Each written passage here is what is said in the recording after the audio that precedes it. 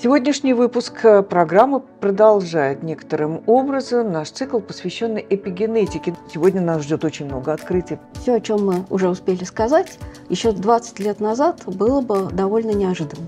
Угу. Кетогенная диета, очень угу. известная сейчас, угу. она тоже приводит к такому же результату. Высокая пластичность нейронов, которая лежит, как вы правильно сказали, в основе когнитивных функций, опирается на пластичность их эпигенома. Появились первые экспериментальные данные, которые свидетельствовали о повреждении ДНК.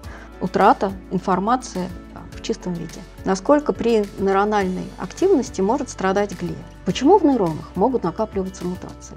Этот компромисс верен и для нервной системы. Я этого не знала.